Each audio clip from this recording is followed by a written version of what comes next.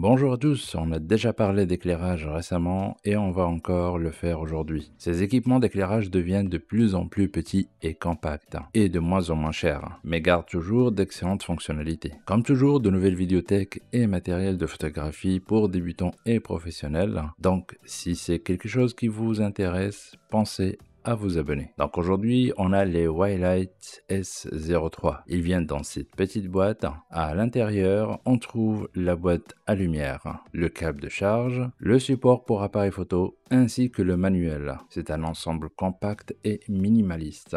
Il est minuscule, parfait pour une petite poche, un appareil photo ou autre. Il mesure 88 x 52 21 mm avec un poids de 72 grammes. Donc vous n'allez vraiment pas sentir le poids de ces éclairages pendant le transport. Et comme vous pouvez le voir, il existe en quatre couleurs. Bleu glacé, orange vif, blanc neige et gris minimaliste. Comme on a un support, on trouve un trou de vis de 1 quart de pouce en dessous. Vous pouvez donc le monter sur un trépied ou un appareil photo facilement à l'aide du support de sabot, un gimbal ou autre support à vis. Sur le côté, on trouve un support de type C pour le chargement. Il y a une batterie de 1000 mAh avec un temps de charge d'environ 3 heures avec un indicateur qui vous dira si c'est complètement chargé. Et une fois complètement chargé, vous pouvez obtenir 60 minutes de lumière à 100% de puissance. La plage de puissance va de 1% à 100%. Et c'est un bon point pour ces lumières Wildlight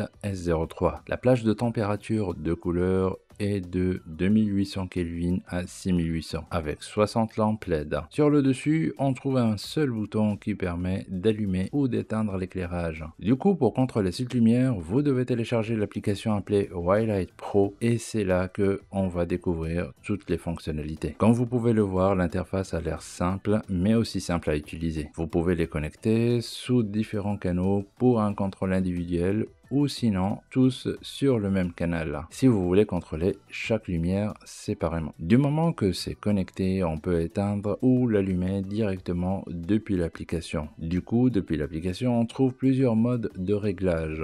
Le mode CCT vous permet de sélectionner une température de couleur. Vous avez une sélection standard, ampoule, ensoleillé, flash, nuageux, etc. Sélectionnez simplement celui dont vous avez besoin et augmentez ou diminuer la luminosité juste après. Vous pouvez également sélectionner votre propre réglage personnalisé et lorsque vous appuyez sur le signe plus en haut, vous pouvez l'enregistrer. Ainsi, lorsque vous devez filmer quelque chose, il suffit de reprendre le même réglage enregistré facilement. Le panneau HSL vous permet simplement de glisser pour choisir la couleur que vous voulez, augmenter ou diminuer la saturation si vous le souhaitez et la luminosité. Et comme pour le mode précédent, on peut enregistrer le réglage. Du coup, chaque mode vous permettra toujours de sauvegarder le pré-réglage. Le panneau RGB WY vous offre une autre option pour personnaliser les couleurs. On a aussi la fonction coordination XY.